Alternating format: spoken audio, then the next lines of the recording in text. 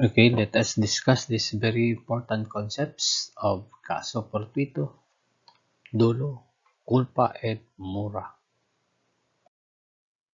Let us start with this caso fortuito, or also called fortuitous events.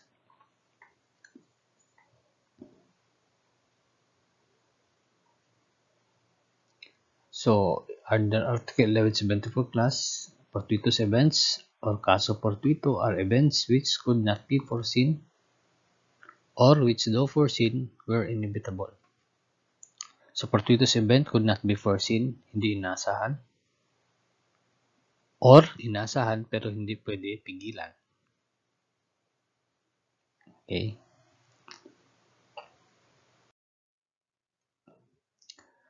So, for purposes of discussions, there are actually two fortuitous, two kinds of fortuitous event: the ordinary fortuitous event or the extraordinary fortuitous event. Ang ordinary fortuitous events class are common events which the parties could reasonably foresee. Okay, for example, biglang umulan, ordinary fortuitous event. Extraordinary fortuitous events class are uncommon events which the parties could not have reasonably foreseen. Okay, this is what is covered by 1174. So, extraordinary fortuitous events class, for example, uh, bagyong Yolanda, okay, uncommon event siya. So, for purposes of our course class, when we say fortuitous events or caso fortuito, we refer to the extraordinary fortuitous event. We are not referring to ordinary fortuitous event. So, from here on, when we say fortuitous events lang, o caso fortuito, ang ginamin natin kasi is extraordinary fortuitous event and not ordinary fortuitous event.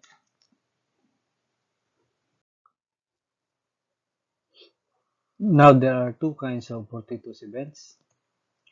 Number one are called acts of man. Okay, these are independent of the will of the uh, debtor, like war, fire, robbery, murder, or insurrection. So, gawa ng tao. Number two are called acts of God. These are also called force majeure. Itong acts of God are called force majeure. Now, they are, these are totally independent of the will of every man. Okay, like earthquake, flood, rain, shipwreck, lightning, eruption, or storm. So, pag sinabing force majeure class, this is considered God. Okay. Pero for purposes of our course, pag sinabing fortuitous event, any of these two. Okay. Any of these two. So, from here and onwards, when we say fortuitous event or caso fortuito, we refer only to extraordinary events and may either be acts of man or acts of God.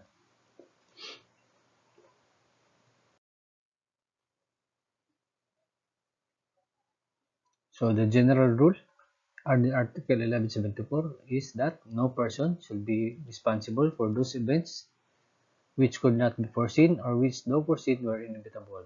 In short, no person shall be responsible for fortuitous events.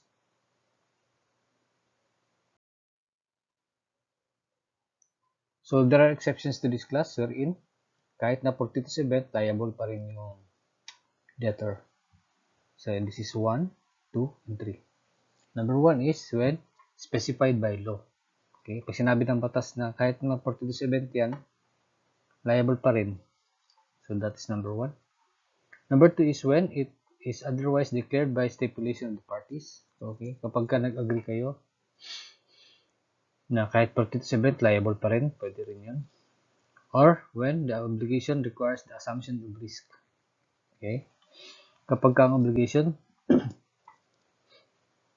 is may risk involved and you know may risk na involved. Okay, so kahit na event pa rin, okay, the, the, oblig the, uh, the obligor or the debtor may still be liable for event.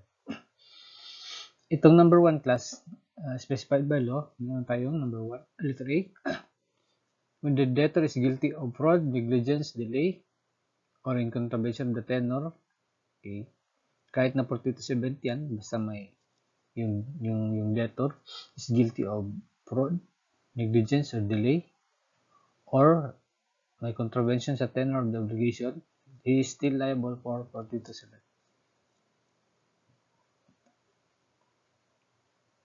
For example, uh, you promise to to deliver a specific thing. Okay? Then, merong yung the debtor is guilty of fraud or naging negligent siya or nag-delay siya sa delivery or may contravention of the tenor. Okay? And then, yung thing na wala because of fortuitous event, tamaan ng gidlat, naanod sa sa baha. Okay? Liable pa rin yung debtor because the law says na in, in, in case of fraud, negligence, delay, or intervention of the tenor, eh, liable pa rin ang debtor. Letter B, when the debtor has promised to deliver to two or more persons. Okay. This is like fraud class. Okay. If you promise to deliver the same specific thing to two or more persons,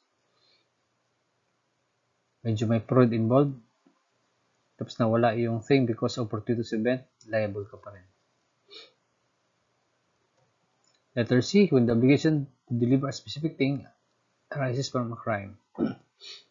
Okay?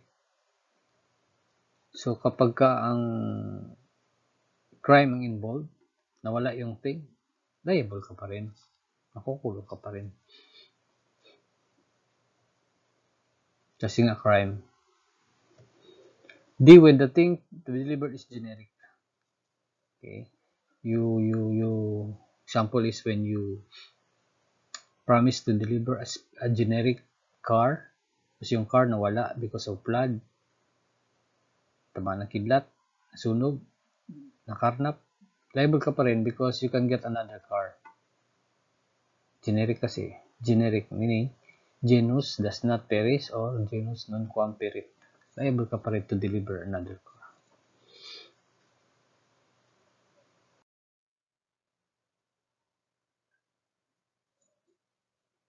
So, damages tayo. Kailan may damages? Okay, basta may fraud, negligence, delay, or in contravention the term of the obligation, kapag meron itong apat na ito, okay, the, oblig the obligor or the, or the debtor is liable for damages. Okay, the debtor is liable to pay to the creditor damages in addition to the remedies uh, available to the creditor like specific performance, rescission, and others. So let us discuss fraud. Fraud is also called deceit or dolo. Okay. So this is the deliberate or intentional evasion of the normal fulfillment of an obligation. So intentional siya, so fraud. Ito next class, eh, uh, importante. Any waiver of an action for future fraud is void. Because it is against the law and public policy. But waiver for past fraud is valid. Ano ibig sabihin yan? Okay. Hindi tayo pwede mag mag-agree na i-waive yung future fraud. Ibig sabihin, hindi tayo pwede mag-agree na okay, kung lulukuhin mo ako sa future, okay lang, i-waive ko na lang yun. Hindi pwede yun. That is void. Okay? Pero kung past fraud, like niloko mo ako dati, sabihin ko, okay na, okay na lang, patawarin na kita, valid yun. Okay? So, future fraud cannot be waived. Action for future fraud cannot be waived because it, the, it is against the law or public policy. Kapag kasi gi-waive mo yung future fraud class, magiging uh, precedent siya and then uh, hindi siya safe. If, if gawin natin valid yan, hindi siya safe for the society. Now, there are two kinds of fraud. Dolo incidente or the incidental fraud. This is committed in the performance of an obligation of an already existing contract. This is the fraud referred to in 1170. So, existing yung contract class, yung fraud is nandun na sa performance of an obligation. Yun ang dulo incidente. Yun yung ginasabi sa Article 1170. Example. Okay, I promise to deliver a car. Okay. Walang fraud doon sa promise, walang fraud doon sa agreement natin. Pero nung dineliver ko ang car, ang dineliver ko sa iyo is karnap na car. So, pag-perform ko ng obligation, nandun yung fraud. Yun yung fraud na magla, maging liable ka for damages. Yun yung fraud sa Article 1170. Itong dolo incidente.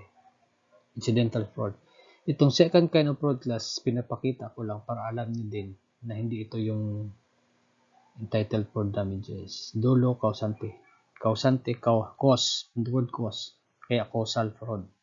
Fraud here is in happens when you enter into the contract which besides consent.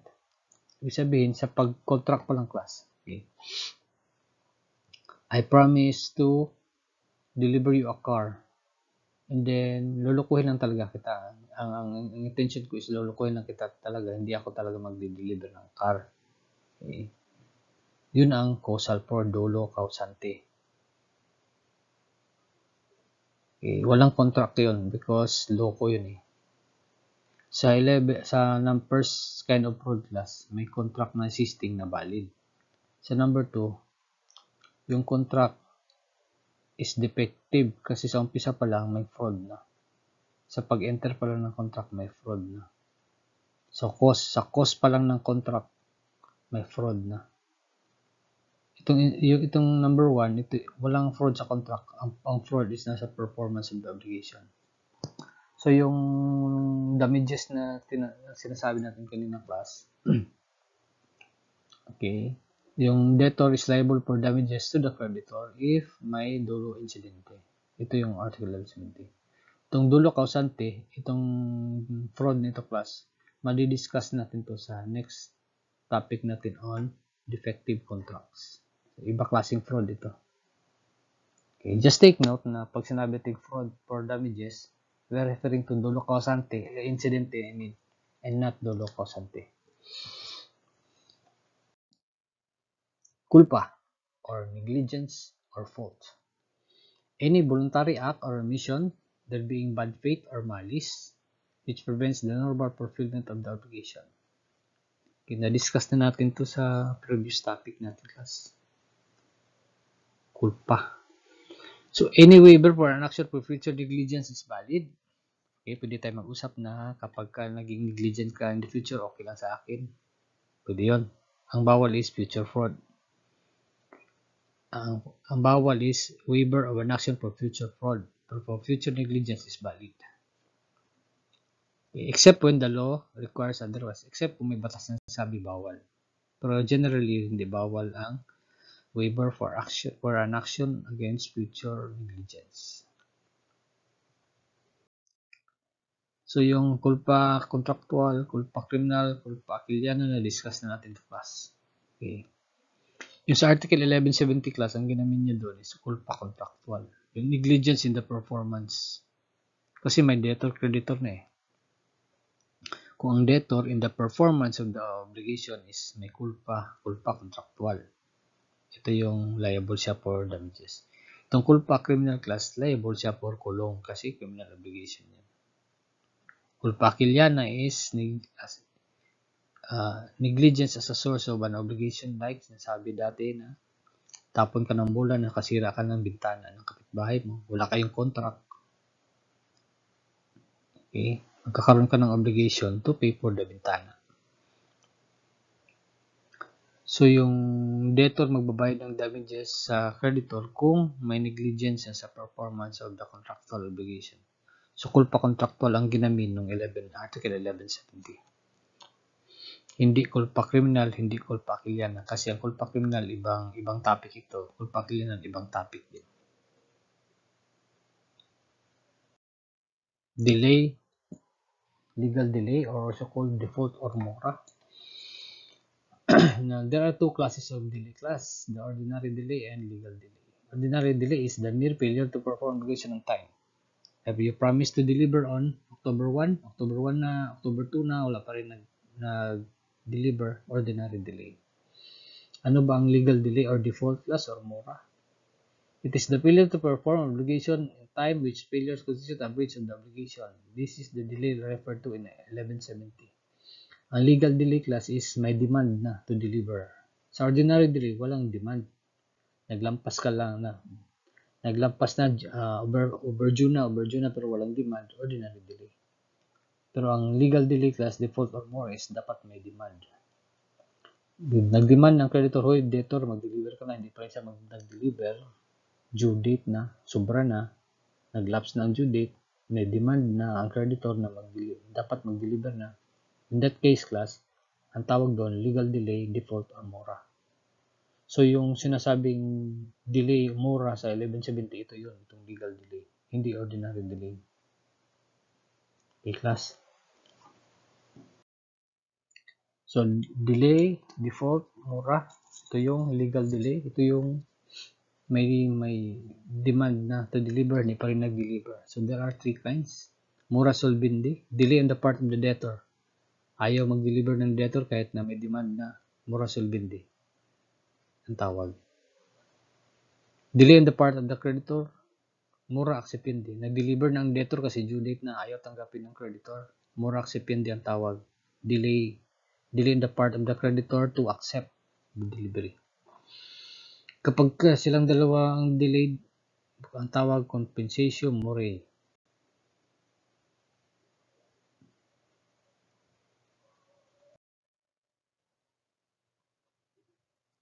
So, ang general rule natin sa delay class, no demand, no delay. So, kahit na due date na, lapas na, wala pa rin demand si debtor, si creditor, hindi pa delay si hindi pa delay si hindi pa in default, hindi pa in delay, hindi pa in mora si debtor.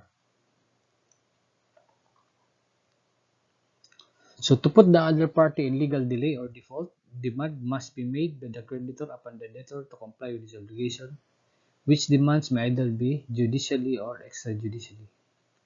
So, pwede mo siya i-demand ng outside of court.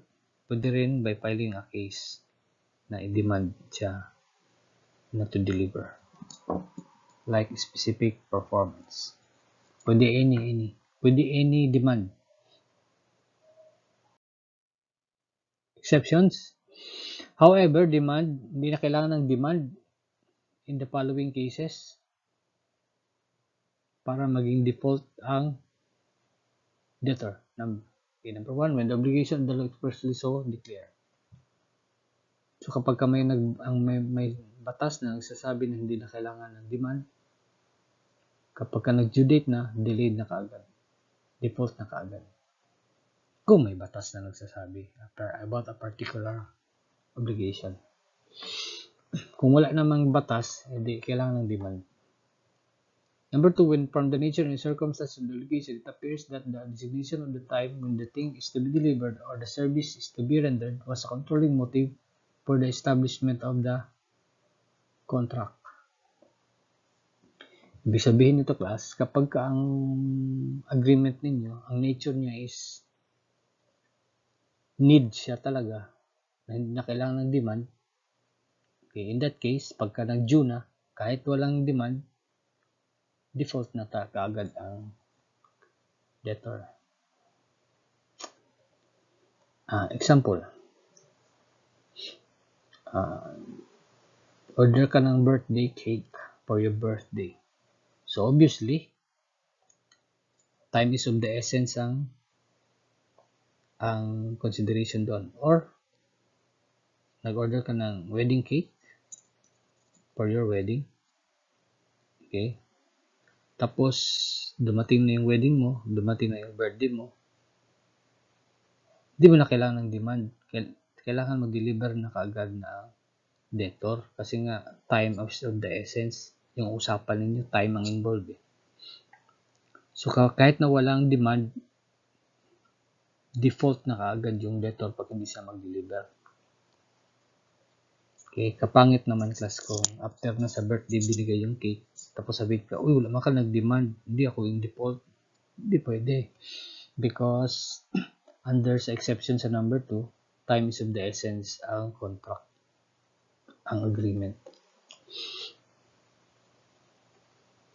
Number 3, when demand would be useless as when the obligation rendered is beyond, uh, when the obligor rendered it beyond his power to perform. Ibig sabihin, class, uh, yung yung debtor may kasalanan kung bakit hindi siya makapag-deliver. For example, if a debtor promised to deliver a specific car on November 1. Okay? October 15 pa lang, gisunog niya ang car. Okay? So, October 15 pa lang class, pwede mo na siya i-render into default kasi nga, hindi na siya makapag-deliver talaga kasi wala na yung specific car, sunog niya. Siya mismo may kasalanan, ang debtor mismo may kasalanan kung bakit hindi siya makapag-deliver on time kasi sinunog niya yung specific car. Ibig sabihin, kahit na hindi ka mag-demand, kahit na wala pang due date, pwede na mag-default yung debtor because he rendered it beyond his power to perform. Pwede ka na kagad mag-file ng case without waiting for the due date without waiting for the without making any demand.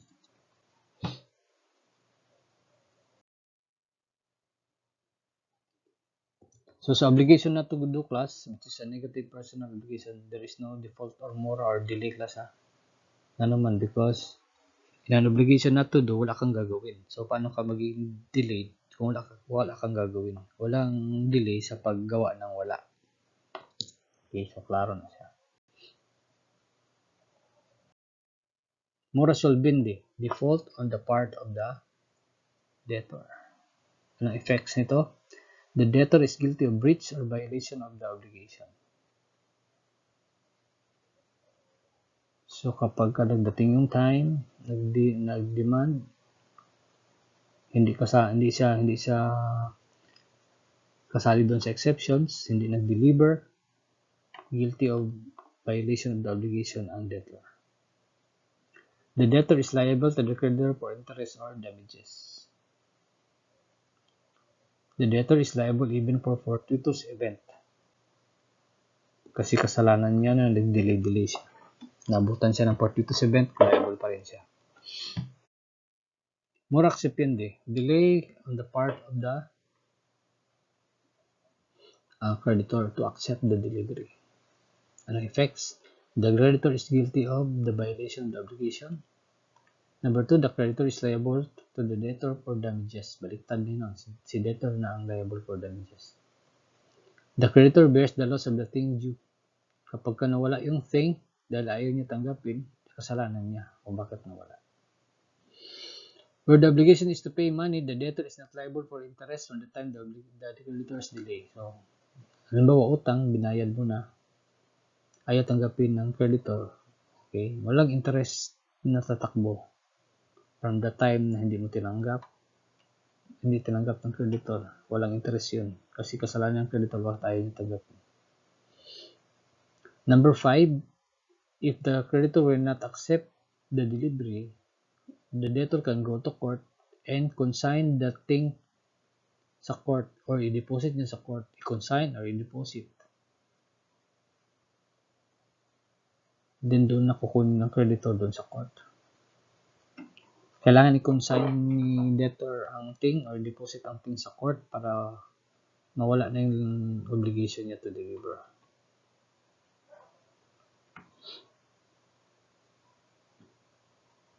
So, sa number 5 class, you can file a case sa court. Ang title ng case mo, consignation. Ang purpose, i-deposit yung thing to deliver para ma maalis na wala mawala na sa iyo yung obligation to deliver. Si creditor na refuses to accept, punta siya sa court kunin niya doon. Compensation mo rin, dalawa sila ang in default, si debtor and si creditor. Anong effect nun? Walang action na pwede i-file ang both parties. Ibig sabihin, dahil dalawa sila ang may kasalanan, walang isa sa kanila ang pwede mag-file ng case sa court. Pareho sila delay. Pero, from the moment one of the parties fulfills his obligation, the delay of the other begins. Isa, pero pag nag-fulfill ng isa, ma pwede na ma-default yung isa. Depende kung sino ang nag-fulfill. So, from compensation mo rin, pwede siya maging mura acceptende o mura solvende. Depende kung sino na yung nag-perform ng kanyang. So, ito yung contravention of the tenor of the obligation. So, ito yung pang-apat class. Okay? The debtor is, sabi natin, the debtor is guilty. Is guilty is liable for damages, number one, because of fraud, which is incidental fraud or dulo incidente ang ginamin dyan. And when the debtor is guilty of culpa, culpa contractual ang meaning ang ginamin natin dyan. When the debtor is guilty of delay or mora, mora acceptende or mora solvende. Number four is when the debtor performs the obligation in contravention of the tenor of the obligation. In contravention of the tenor, hindi sinunod yung tenor ng agreement. Okay. Pinturahan ng blue, pinturahan ng pink. Ang agreement is uh, color blue na kotse ang dineliver white. Okay. Sa contravention of the tenor of the obligation class, ang debtor, nag-perform siya ng obligation pero may contravention sa tenor. May mali sa pag-perform. So this is the violation, ang contravention of the tenor of the is a violation of the terms and conditions stipulated in the obligation. The contravention must not be due to a fortuitous event. Okay. So kung ang dahilan ng contravention is fortuitous event, siyempre hindi siya liable. Liable lang ang debtor for fortuitous event kung may dolo, culpa, and mura. Usury. Ano to concept ng usury? so, kadugtong nung topic nito yung usury. Usury class for purposes lang of discussion is contracting for or receiving interest in excess of the amount allowed by law for loan. Loan was utang plus sa, sa law ang tawag sa utang is mutuom. Now, itong mutuom, i-discuss ninyo yan sa next ninyo na law subject. Okay. Nung, uh, nung una kasi class, uh, ang sabi ng batas nung unang panahon, na pag nagpautang ka, hindi dapat hindi mong sobra ng 12% ang interest. Pag nagpautang ka ng sobra 12% per annum pala, 12% per annum na interest, ang tawag doon sa, sa interest na yun, pag sobra, is usurious ang interest. Kasi against sa usury. May usury law kasi previously class na bawal magpautang, magsingil ng interest ng more than 12% per annum. Pero yung batas na yun class, yung usury law natin is na-repeal na. So, wala nang usury ngayong panahon na ito. Pero why is it na, na dinidiscuss pa rin ng usury? Because, halimbawa, binalik yung usury law, alam niyo ng concept ng usury. Okay. So, sa usury, okay, you are not liable. Kung may, halimbawa, may usury law tayo currently, you are not liable to pay more than 12% per annum na interest. Okay? So, only up to 12% per annum. Just know that that is the that is the concept of usury. Hindi ka pwede magkolekta ng interest sa utang ng sobra sa sabi ng batas. Ang batas ang tawag doon usury law. Pero right now, ang usury law is non-existent. Walang bagong usury law na ginawa ang Congress. Pero just in case na ibalik nila, you should know the concept kung ano ibig sabihin ng usury.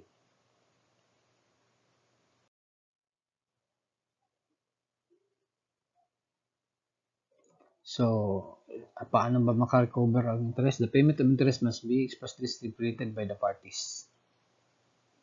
Importante ito class, pag nagpautang, dapat ang interest must be expressly stipulated by parties. Kasi pag nagpautang ka, wala kayong the agreement as to interest, ibig sabihin walang interest yan. And the um, agreement as to interest must be in writing.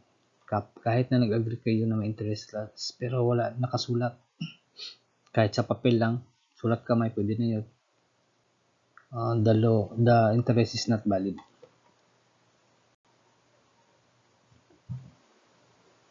Then the interest must be lawful.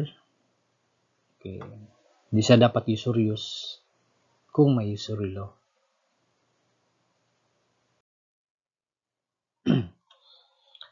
okay, kadugtong naman ng concept na ito yung concept ng presumption. Presumption class is from the word presume. I-presume natin. Hindi natin alam, so i-presume natin. Ang ibig sabihin ng presumption. Hindi natin alam yung totoo, so mag-presume na lang tayo. Ito yung presumption. Ano bang allowed na presumption sa batas? okay, presumption means the inference of a fact not actually known. So, hindi natin alam yung totoo. So, mag-presume na lang tayo. Yun ang ibig sabihin ng presumption. So, there are two kinds of presumption sa law class. Conclusive presumption. Okay. Itong inclusive presumption class, hindi natin pwede i-contradict. Conclusive na yan, wala tayong magawa. Example nito class is, the presumption that everyone knows the law. Okay, if you can still remember yung sa first natin na topic. Okay, ignorance of the law excuses no one from compliance therewith conclusive presumption yung class. Hindi natin alam kung nagbasa sila lahat ng batas, pero i-presume siya conclusive. Hindi pwede kontrahin, hindi pwede contradict. I-presume na dapat lahat ng tao alam yung batas. So, as you go along with your law subjects class, makaka-encounter kayo ng mga conclusive presumption. Okay? So, ibig sabihin na conclusive presumption class, ang sabi ng batas ganito, hindi na muna pwede i-contradict yan. Example lagi dyan class yung ignorance of the law excuses no one from compliance therewith. Yung presumption na yan is conclusive. Hindi mo na pwede i-contradict. The second type of presumption class is the disputable or rebuttable presumption. Ito class, hindi natin alam ng totoo, sige, presume na lang natin. Pero pwede mo siya kontrahin or mag-present ka ng pruweba to prove na hindi yan totoo. Example niyan class is yung presumption of innocence ng isang akusado. Example, di ba? You are accused of a crime, then you are presumed to be innocent until proven guilty. Okay. So, yung presumption na yun, class, pwede yung kontrahin na hindi siya innocent. You can present proof, you can present evidence to prove na hindi siya innocent.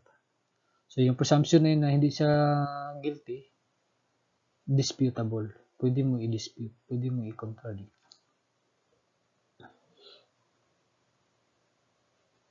So, there are two types of presumption class, ha? the conclusive and the disputable presumption. Disputable also called debatable presumption. So, there are disputable presumptions in Article 1176. Ito class, hindi natin alam ang totoo. I-presume na lang natin, pero pwede mo i-contradict by presenting evidence. Number one presumption under 11.6 The receipt of the principal by the creditor without reservation with respect to the interest shall give rise to the presumption that said interest has been paid. Example, nagpautang ka with interest. Tapos, silent ang PayPal, binayaran niyang principal. Ibig sabihin, i-presume natin na nabayaran ng interest. Kasi sa utang kasi class, dapat unahin mo bayad ang interest bago ang principal. For halimbawa, ang situation is binayaran yung principal.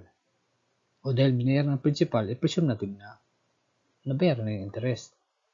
Pero yung presumption na yun, disputable, pwede ka mag, mag-present ng proof. Pwede mo i-prove na hindi pa bayad yung interest. Okay? So, disputable presumption yan. Number two, receipt of a later installment of a debt without reservation as the prior installment shall likewise raise the presumption that the installments have been paid. okay, example. Napautang ka in installment. Binayaran, binayaran yung third installment. Tinanggap mo. So, dahil tinanggap mo ang third installment, ibig sabihin, presumption, na bayaran mo yung first and second installment. Pero dahil disputable presumption yan, you can prove na hindi pa bayad yung first and second. Presumption ng class na pagka binayaran mo yung later installment, presume na bayad na bayaran mo na yung mga naunang installment. But the presumption is disputable. Satisfaction of claims. This is another concept kadugtong nun. So kung may claim ka, creditor ka, may claim ka, paano masatisfy yung claim mo? okay, so mag-file ka specific performance with the right to damages para yung claim mo na i-perform yung obligation, uh, makuha mo. You can file a specific performance sa court with damages kung gusto mo. Number two, pursue the liable property of the debtor. Ibig sabihin ng liable property class pwede mo ipasheriff yung property. Yan ang ibig sabihin yan. Sa, sa ordinary language sa na alam ninyo.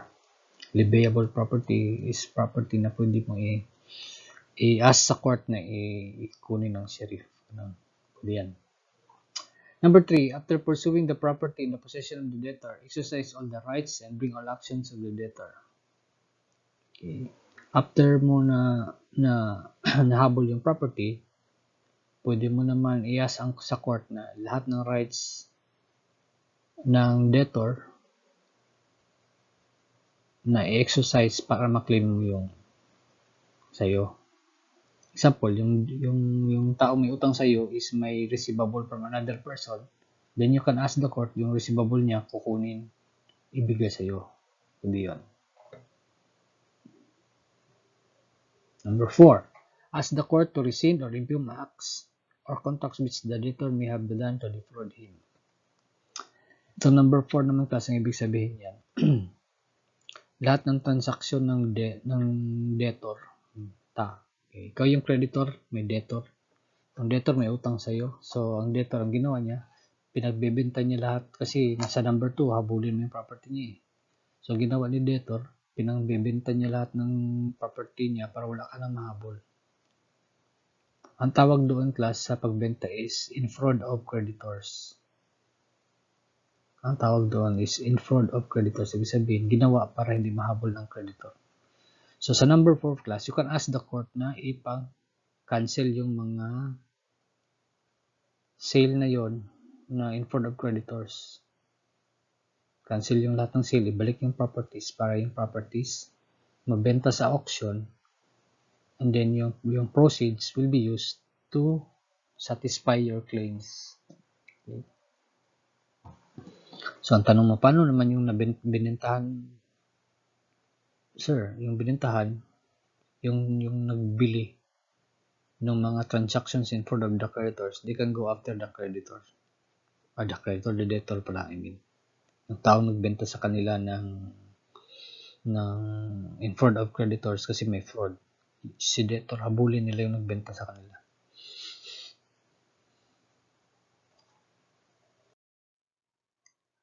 Another concept na kadugdong, transmissibility of rights. Transmissibility, pwede ba i-transfer yung rights, no? Pwede ba i-transmit sa iba?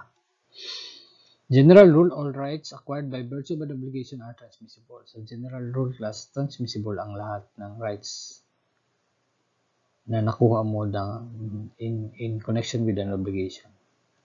Exceptions, those prohibited by law. Like, yung right mo sa partnership, yung right mo sa agency, yung right mo sa accommodaton. Accommodaton class hiram pa rin yan, pero hindi pera. Humiram ka ng t-shirt, hiram mo ng hiram ka ng sapatos, hiram ka ng sasakyan, komodato ang tawag. Okay, so kung mahiniram ka sa nanghiram ka ng kotse, hindi po pwede i-transmit sa iba yung yung right mo doon sa paghiram. Okay, prohibited by law. Ito yung exception, number one. Number two, those prohibited by stipulation of the parties. Of course, pag may agreement kayo na hindi pwede i-transmit sa iba yung right under the obligation, hindi pwede. So, general rule, lahat ng rights acquired via an obligation are transmissible except when prohibited by law or when prohibited by agreement of the parties.